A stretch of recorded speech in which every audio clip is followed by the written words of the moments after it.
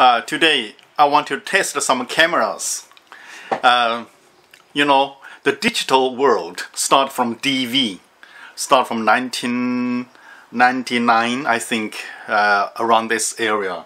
The best camera was this, Canon uh, XV1. This is the best seller of that time, Canon.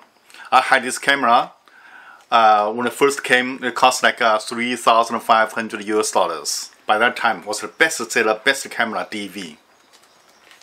But now, they changed to hard disk. This is XA30. This is the last and the best of Canon camera, hard disk camera. Okay, it costs like uh, about 2,000 US dollars. So the first best of Canon and the last best of Canon. So this is DV, this is hard disk. I want to compare the quality. I will film the exact same thing, uh, same format, same setting to see the result. What is better or the difference and you prefer. Second, I will test two small cameras. This is ordinary I use the cheapest can uh, Sony, cheapest Sony with Carl Zeiss lens. This is I use daily. Uh, the first Philippine videos I made all by this uh, small camera. And this is a DV, Sony DV, also with Carl Zeiss lens. I will compare DV with hard disk for the ordinary people use, for everyone. And finally, I will use uh, Canon 6D 6D with a 24 to 105 uh, f4 lens to see the difference okay? The revolu revolution is from DV to hard disk to camera okay? Now many people filmmakers uh, they make film use this camera so this is a film quality. To see the difference, okay, please enjoy. By the way, this now I'm filming is I'm using Victor um, lens. Supposed to be professional lens, first used for um, used for ordinary people. Okay, thanks.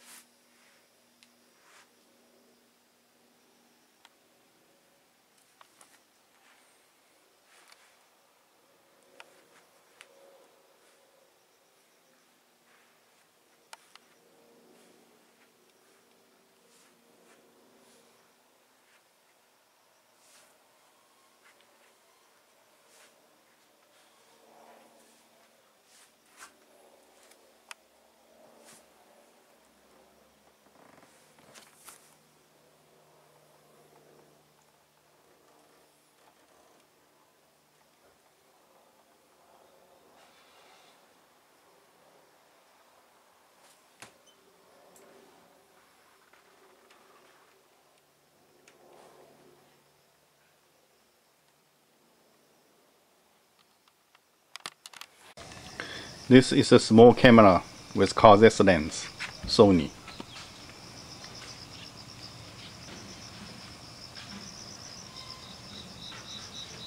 DV